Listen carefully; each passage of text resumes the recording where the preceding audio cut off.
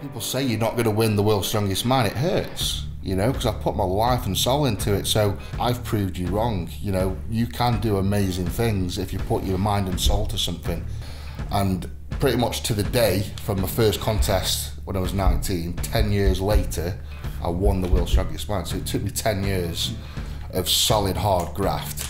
And it is, ah, I, I couldn't, if I described it the worst way possible, it still wouldn't be enough to, to show what I've been through. You know, it's the huge sacrifices. It's from the age of 19, I've probably missed, uh, God's honest truth, 10 training sessions, never miss a meal, you know, stretching, physio, hot cold treatments.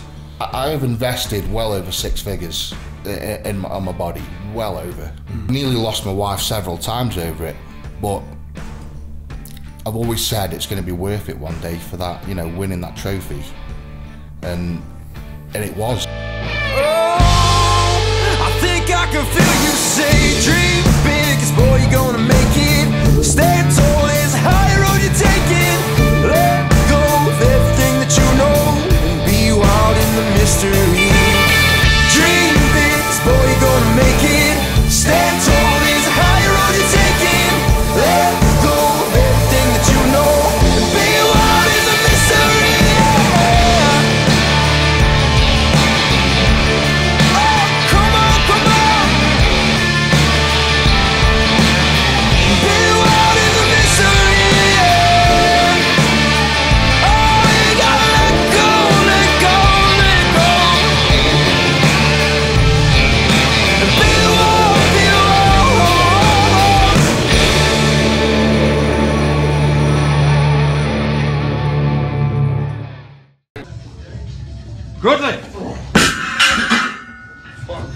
The world's strongest man in 2017.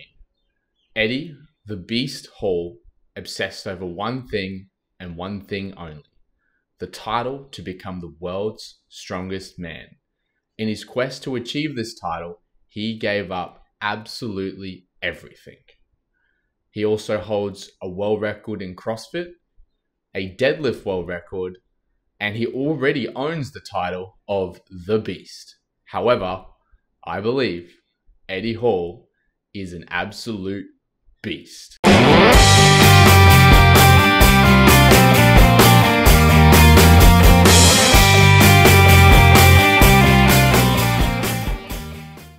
Who do you think should feature in the next episode of Absolute Beast?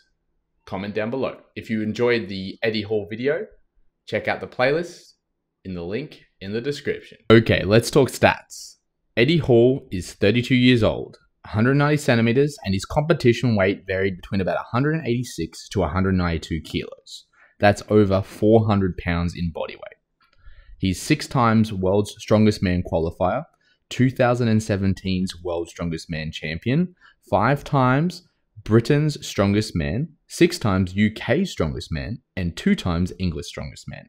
Eddie's greatest lifts Eddie Hall has a notorious 500 kilo deadlift, 216 kilo axle press, a 465 kilo Rogue Elephant Bar deadlift, 463 kilo deadlift with just straps, 213 kilo log lift, 405 kilo squat, 300 kilo bench, and he's done 10 leg press at 1,000 kilos. And the most recently, a CrossFit Isabel world record of just 50 seconds, which we'll cover on a little bit later.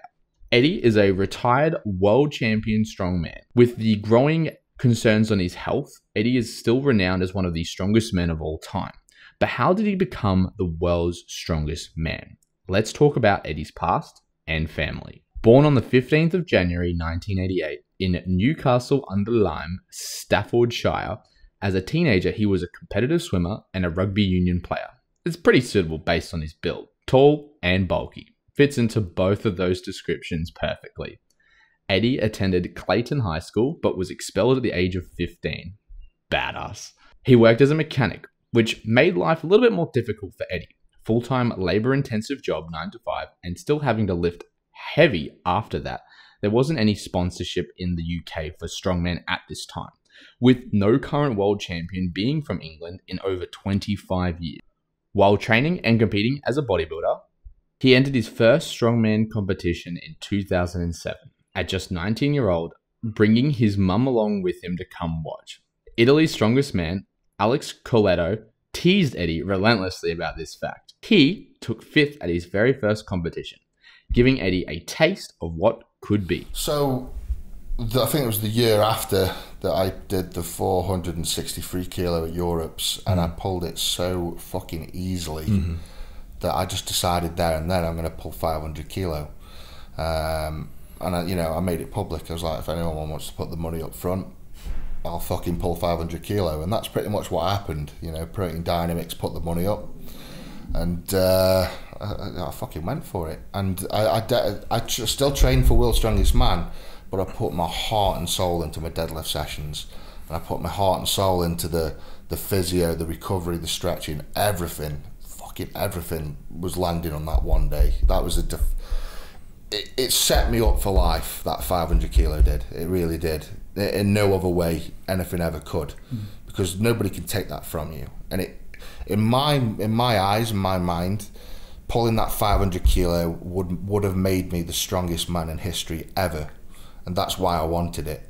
And and all the naysayers on the 500 was was the worst I've ever had. So yeah, and, and, and just the backlash from that was like, this guy hasn't got a chance in fucking hell. You know, like more me. Everybody, every comment saw like possibly 470, maybe 475, but no way 500. And every every single comment I read, I was like, fucking keep it coming, keep it coming. Mm. And it really did fire me. It got me so fucking angry that people said it wasn't possible. Mm. And I knew in the back of my mind it was. I knew it was going to be dangerous and I knew it was a big risk to take, but I wanted that strongest man in history status.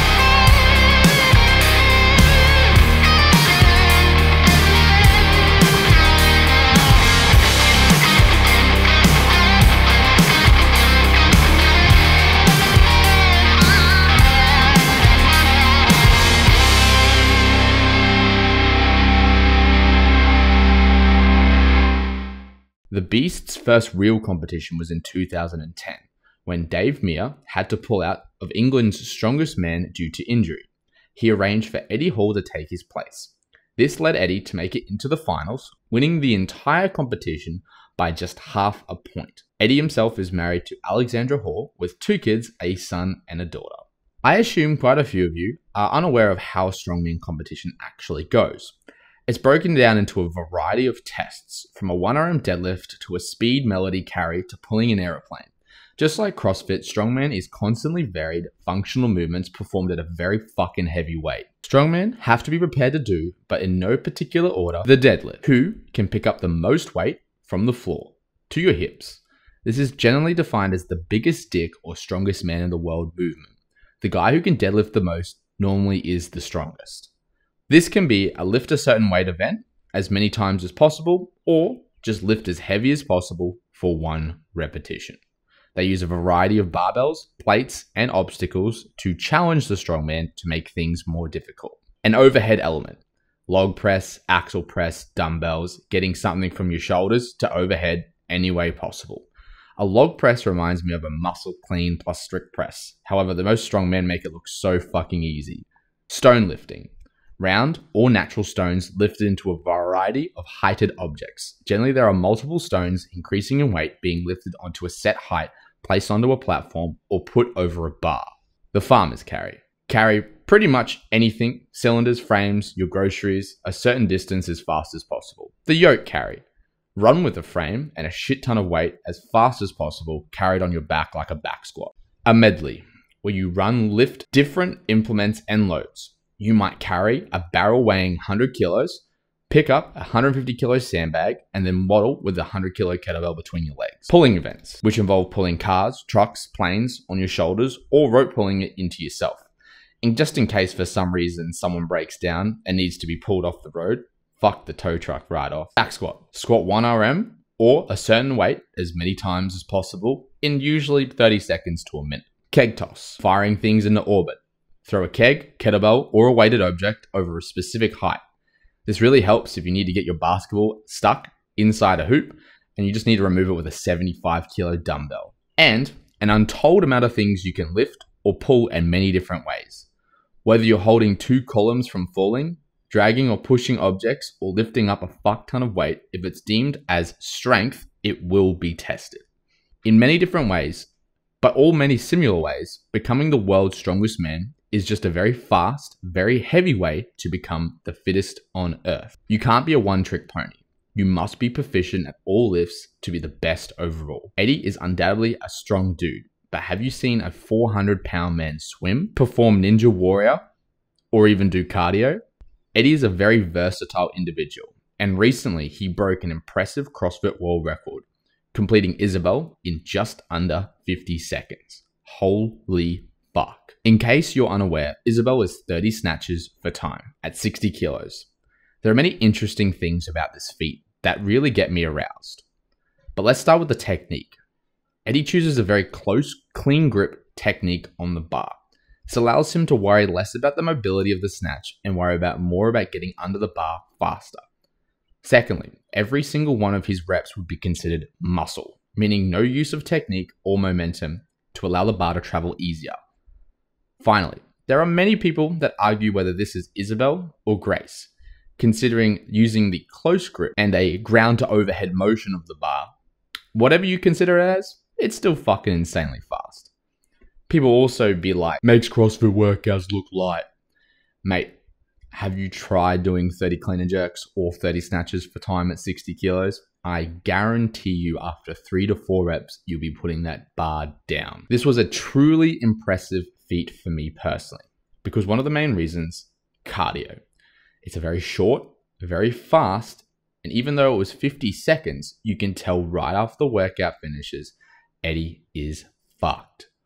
That's the same effect I would have on this workout with a sub three minute time, and your mother would have on it too.